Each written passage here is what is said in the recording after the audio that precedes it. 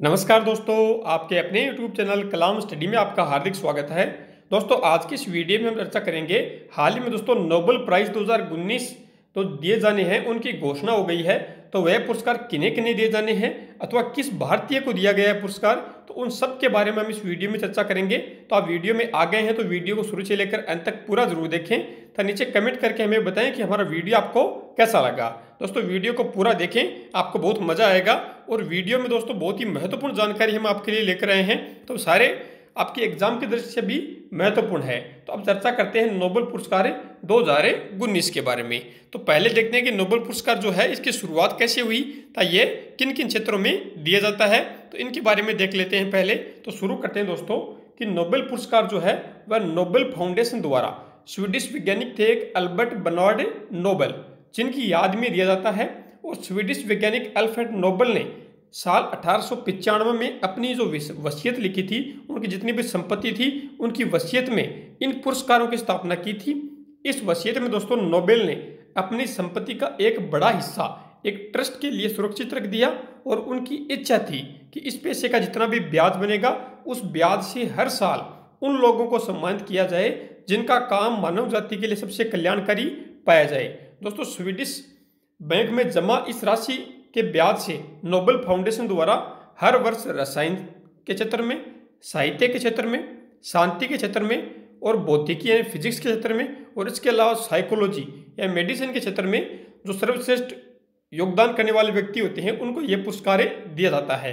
दोस्तों, इसके अलावा पहली बार अल्फ्रेड नोबेल की याद में उन्नीस सौ अड़सठ से इकोनॉमिक्स यानी अर्थशास्त्र के क्षेत्र में भी नोबेल पुरस्कार दिए जाने की शुरुआत हो गई थी। तो ये जो बाकी क्षेत्र में थी, इन, ये पुरस्कार तो बहुत पहले से दिए जा रहे हैं। वही दोस्तों, उन्नीस सौ अड़सठ से अर्थशास्त्र के क्षेत्र में भी ये पुरस्कार दिया जाने लगा है। तो ये पुरस्कार इनकी घोषणा कौन करता है? तो उनके बारे में देख लेते हैं। दोस्तों the Royal Swedish Academy of Sciences है। यह भौतिक, रसायन और अर्थशास्त्र विषयों के लिए पुरस्कार प्रदान करती है।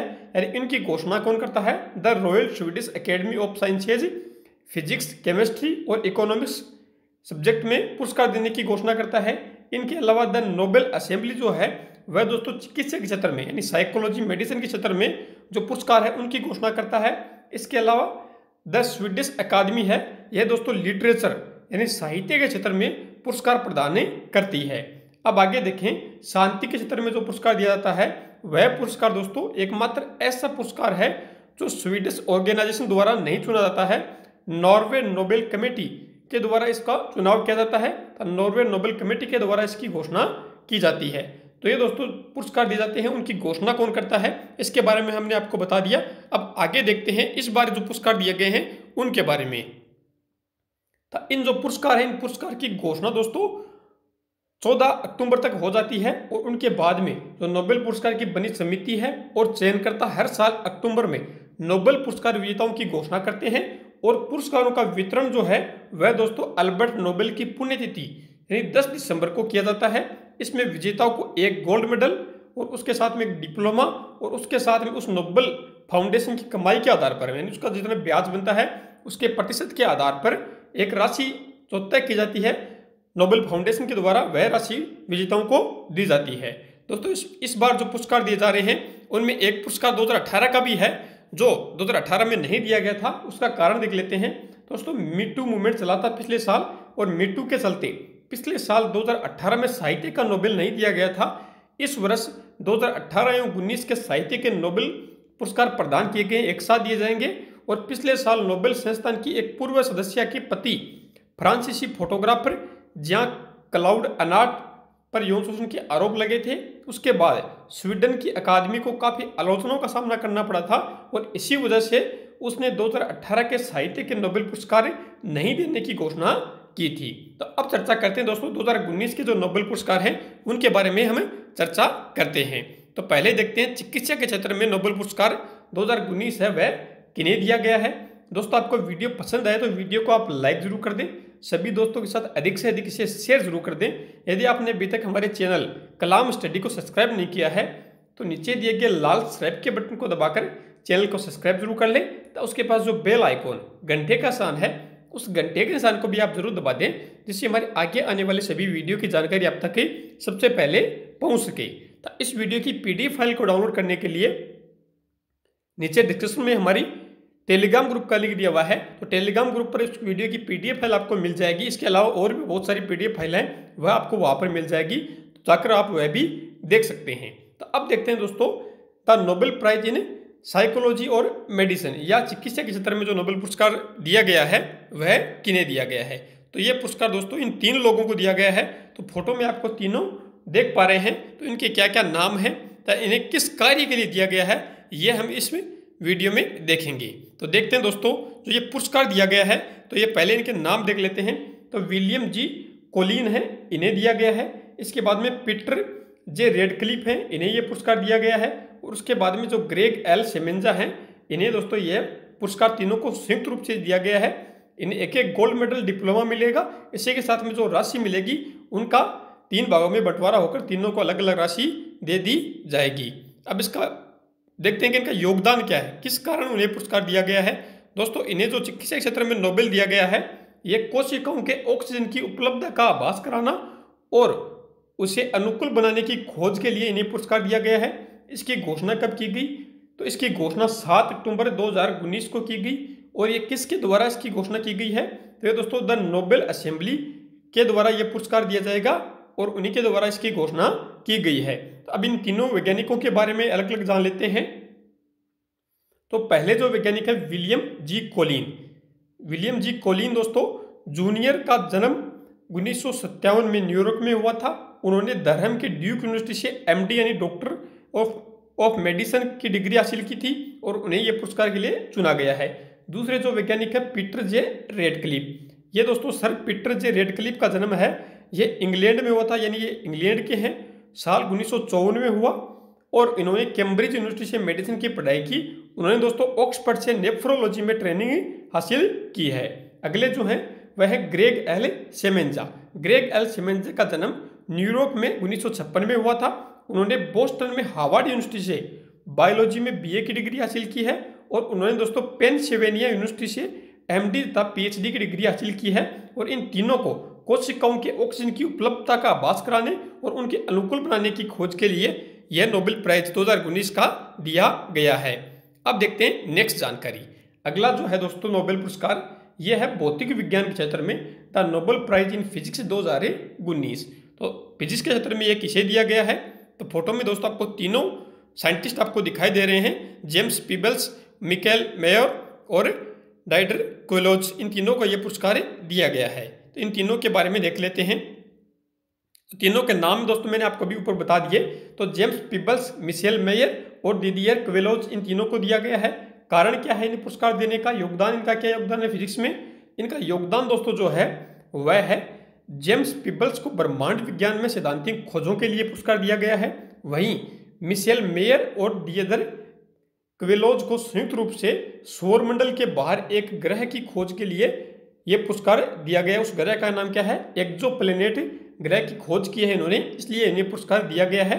और इस पुरस्कार की घोषणा 8 अक्टूबर दो हज़ार उन्नीस को हो गई थी। और ये पुरस्कार दोस्तों the Royal Swedish Academy of Sciences के द्वारा दिया जाएगा। अब इन तीनों वैज्ञानिकों के बारे में हम जानते हैं। तो पहले जो वैज्ञानिक थे, वह थे दोस्तों जेम्स पीबल्स। तो जेम्स पीबल्स हैं। इनका जन्म दोस्तों 1935 में कनाडा के विनीपेंग में हुआ था, यानी कनाडा के हैं, और वे कनाडा के मूल के अमेरिकी नागरिक हैं, यानी कनाडा के फिर अमेरिका में आकर रहने लगे और वहीं की नागरिकता ले ली। तो ये कनाडाई मूल के अमेरिकी नागरिक हैं। वे अमेरिका के प्रिस्टन विश्वविद्यालय में विज्ञान के प्रोफेसर के पद पर कार्यरत हैं। दोस्तों, उन्होंने बिग बैंग, डार्क मैटर और डार्क एनर्जी पर भी काम किया। Big Bang theory Stephen Hawking's ने दी थी, आपको याद होगा। तो उनके साथ भी इन्होंने काम किया है। इस काम को दोस्तों आधुनिक ब्रह्मांड विज्ञान का आधार ही माना जाता है। नेक्स्ट है, मिशेल मेयर को दिया गया। मिशेल मेयर का जन्म है, यह उन्नीस सौ बयालीस में स्विट्जरलैंड में हुआ था। तो मिशेल मेयर ने इक्यावन पेगासी बी ग्रह की खोज की है और मिशेल मेयर जिनेवा विश्वविद्यालय में कार्यरत हैं। वहीं दोस्तों दिदियर क्वेलोज हैं, इनका जन्म उन्नीस सौ छियासठ में हुआ था। दिदियर क्वेलोज ने भी इक्यावन पेगासी बी ग्रह की खोज की थी। यह ग्रह दोस्तों सॉरी यह गैस से बना हुआ एक विशाल ग्रह है, जो पृथ्वी से 50 वर्ष दूर एक तारे की परिक्रमा कर रहा है। डीडीआर क्वेलोज भी जेनेवा विश्वविद्यालय में कार्यरत हैं। तो इन तीनों को फिजिक्स के क्षेत्र में ये पुरस्कार दिया गया है। अब देखते हैं रसायन विज्ञान के क्षेत्र में नोबेल पुरस्कार दो हज़ार उन्नीस के बारे में। तो रसायन विज्ञान के क्षेत्र में किन्हें दिया गया है यह देख लेते हैं। वीडियो दोस्तों, आपको कैसा लग रहा है, नीचे कमेंट करके हमें बता सकते हैं। आपकी कोई राय हो तो वो भी आप हमें बता सकते हैं।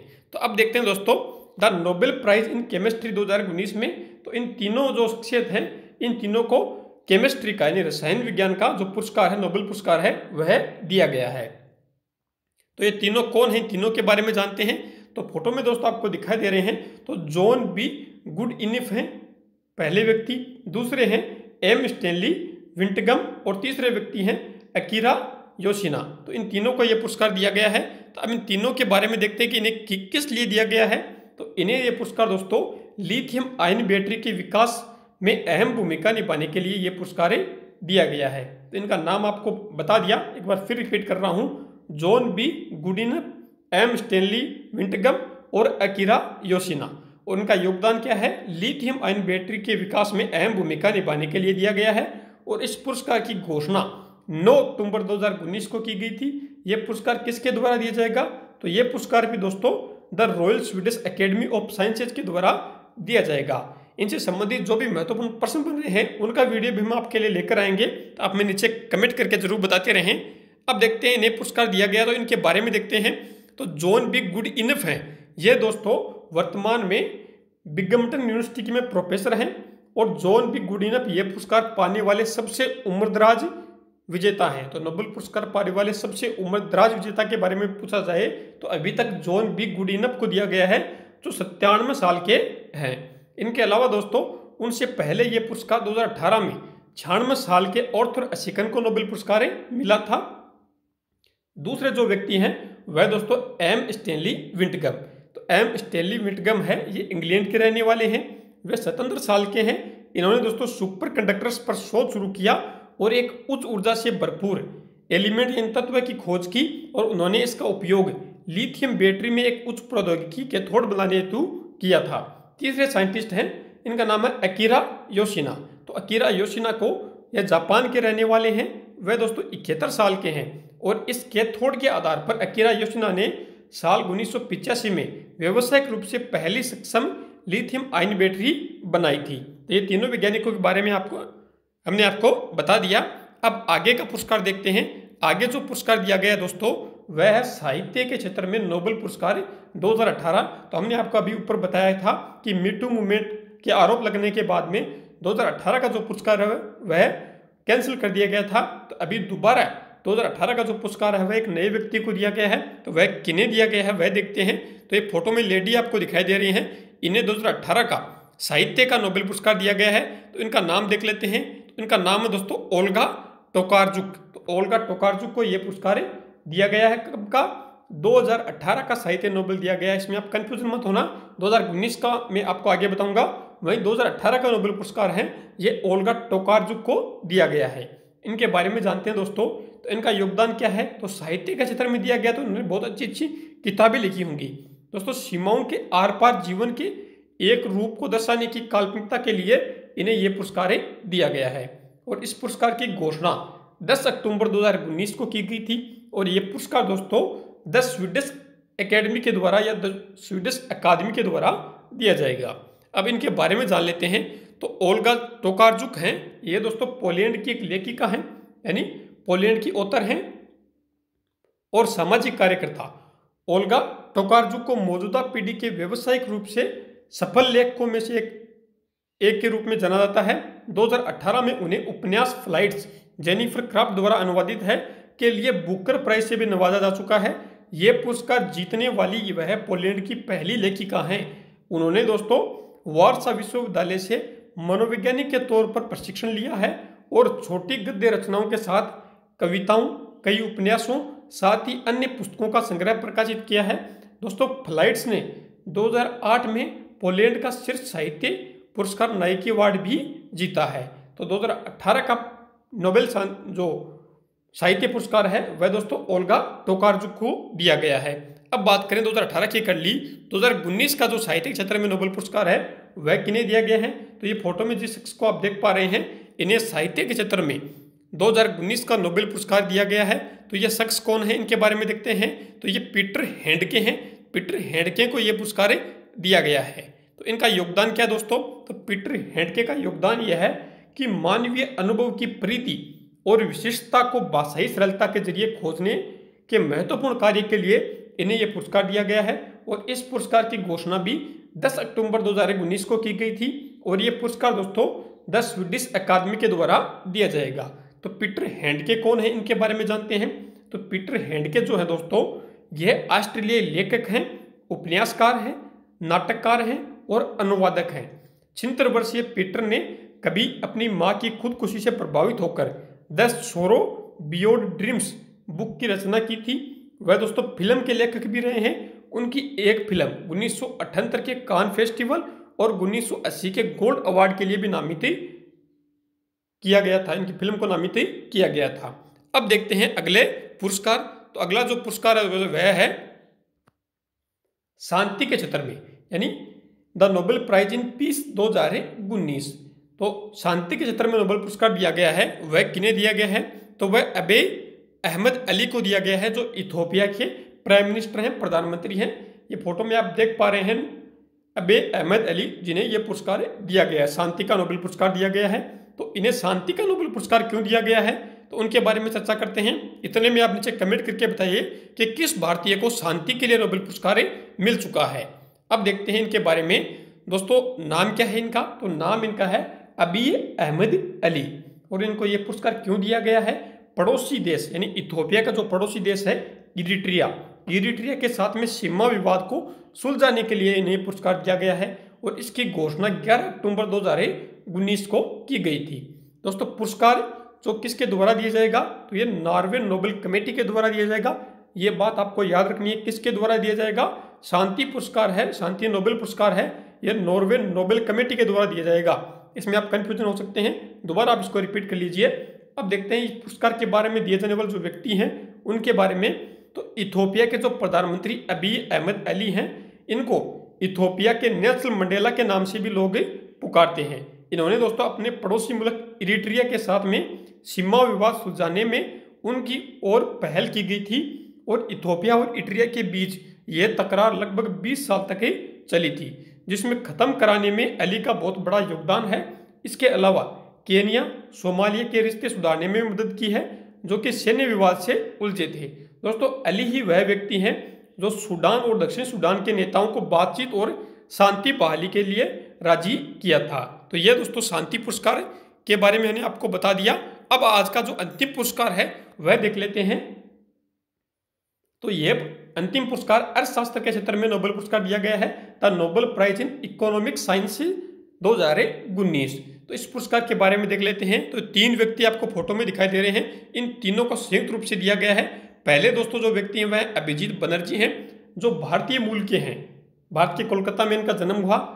दिल्ली के जवाहरलाल नेहरू यूनिवर्सिटी में इनकी पढ़ाई हुई, एमए किया। फिर हार्वर्ड यूनिवर्सिटी से इन्होंने पीएचडी की, फिर अमेरिका में शिफ्ट हो गए और वहाँ पर इनको ये नोबेल पुरस्कार मिला है और इनके साथ में ये जो एस्तर डुफ्लो हैं, ये इनकी पत्नी है वाइफ हैं, इनको भी संयुक्त रूप से ये पुरस्कार दिया गया है। इनके साथ में जो माइकल क्रेमर हैं, इन्हें भी अर्थशास्त्र में नोबेल पुरस्कार दिया गया है। तो इन तीनों के बारे में जानते हैं दोस्तों। तो इन तीनों का नाम हमने आपको भी बता दिया कि अभिजीत बनर्जी एस्थ डुप्लो और माइकल क्रेमर इन तीनों को अर्थशास्त्र के क्षेत्र में नोबेल पुरस्कार 2019 के लिए नवाजा गया है। इनका योगदान क्या था दोस्तों?